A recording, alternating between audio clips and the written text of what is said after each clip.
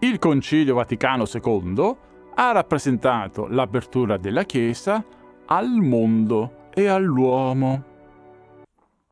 No.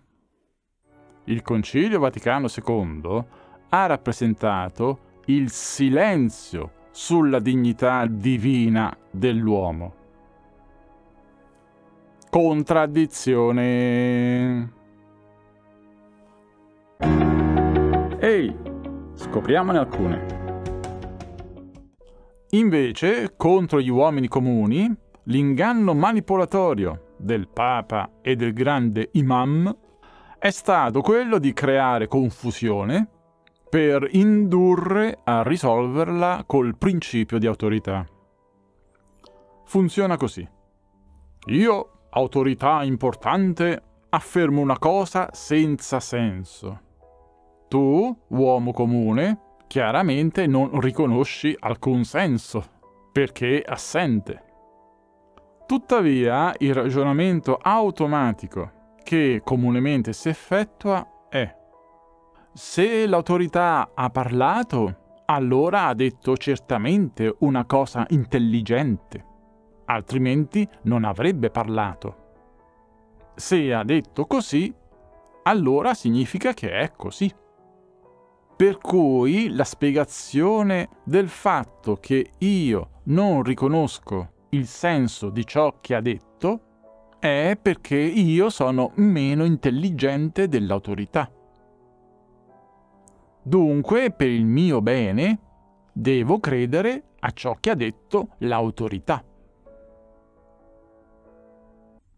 Invece, in realtà, la frase da sapientone è una insipiente frase ingannevole. Tecnicamente è una gabbia di pensieri. Ricordate? Costruita con pensieri contraddittori collegati insieme con la forza dell'autorità. In modo che i propri pensieri rimbalzino all'interno di essa dall'uno all'altro, da un pensiero all'altro, nella buona fede che tutta la frase abbia un significato reale, quando invece il significato è assente. In questo caso che le religioni e la lingua parlata sarebbero create da Dio come il colore, il sesso e la razza. Infatti, coloro che credono nella buona fede del Papa rimangono all'interno della gabbia della frase e si mettono sostanzialmente a confermarla anziché a dimostrarla con nuove argomentazioni. No, non è quello che ha scritto. Lui intendeva dire un'altra cosa. Ha ragione lui perché sì. Eccetera. Contro-dimostrazione con l'alternativa. Affinché la frase fosse stata effettivamente valida rispetto alla sapiente volontà divina e alla creazione degli uomini da parte di Dio, i due capi religiosi avrebbero dovuto togliere la lingua parlata e poi scrivere al posto di religioni la religiosità dell'uomo insieme alle diversità di colore, sesso, eccetera. Oppure la capacità dell'uomo di giungere a Dio, eccetera. Oppure lo spirito dell'uomo capace di Dio, insieme alla diversità di colore, sesso, eccetera. Adesso la frase ha senso e non si va all'inferno. Cioè, non prendono in giro me e tante altre persone e pensano di prendere in giro quello che ha inventato dall'atomo all'universo? Con chi credono di avere a che fare? Questo è il post Concilio Vaticano oggi. Questa è la religione del concilianesimo.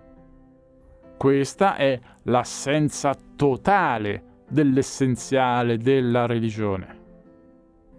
Soprattutto questa è la messa in solitudine dell'uomo comune di fronte alle autorità scolastiche, giornalistiche, politiche, economiche, mediche, eccetera. Perché in questo modo l'uomo comune non ha più i criteri di Dio, ha solo i criteri delle autorità. Avesse anche i criteri di Dio, potrebbe giudicare l'operato e le parole delle autorità. Ma se tutte le religioni sono uguali, se il Dio A, il Dio B, il Dio C, il Dio D sono tutti uguali, non c'è più Dio. Ci sono solo le autorità. Gli effetti del Vaticano II e la ricostruzione del suo svolgimento secondo il cardinal Walter Casper. Indaghiamo ora la certificazione della fine dell'essenziale della religione, causata dal Concilio Vaticano II, dalle parole del cardinal Walter Casper, che è un ultraprogressista modernista. Nella sua lettera del 2013, dove fa anche un'interessante ricostruzione storico-sociale di quanto avvenuto dal 1960 al 2010. Era l'epoca della guerra fredda.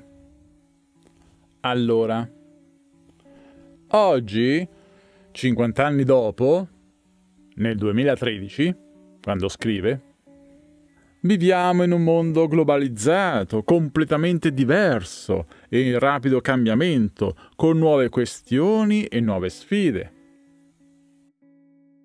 Sfide la fede ottimistica nel progresso e lo spirito dell'incamminarsi verso nuovi confini sono volati via da tempo, che erano i criteri che animavano quasi tutti i vescovi del Concilio Vaticano II.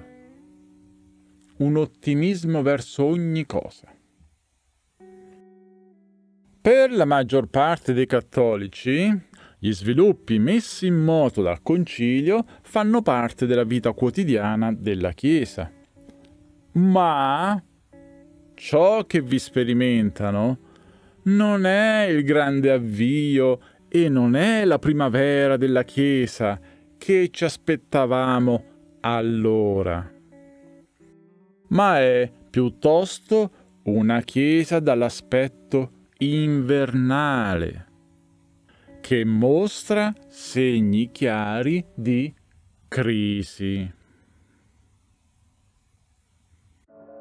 Ora, per chi conosca la storia dei 20 concili riconosciuti come ecumenici, questo non costituirà una sorpresa.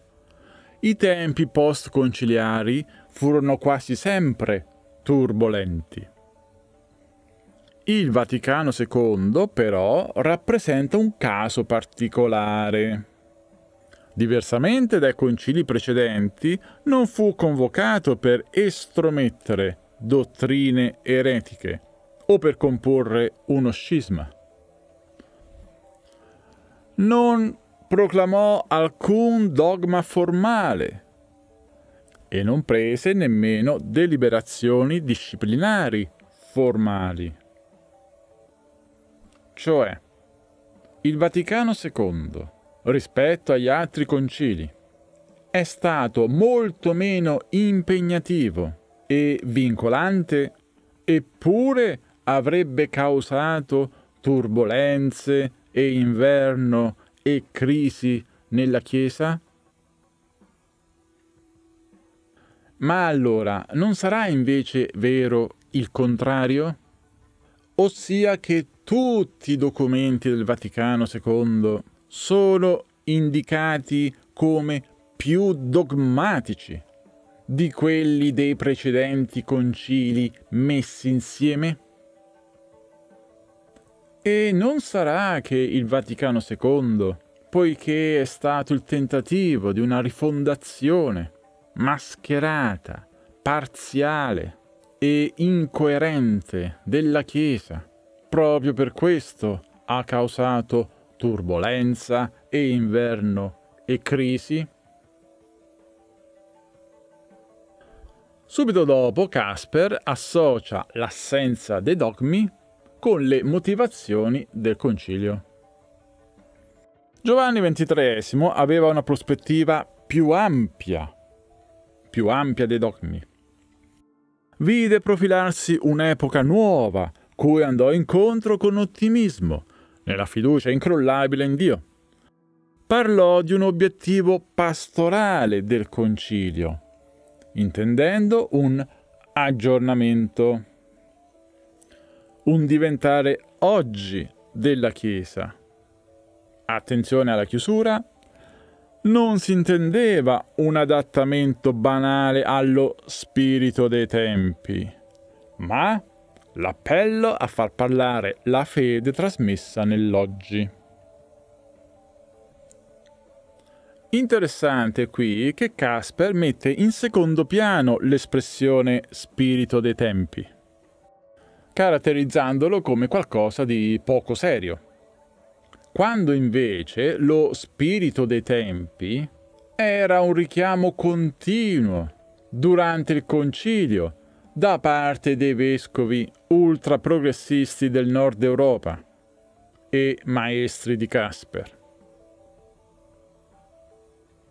Poi Casper prosegue indicando la suddivisione che secondo lui, era presente all'interno dei 2400 vescovi del concilio. Esattamente comincia a parlare di quanti sarebbero stati i buoni e quanti i cattivi. Nella undicesima parte, la maggioranza in concilio, secondo Walter Casper e l'indagine sul modernismo. Ci sentiamo, indagatore.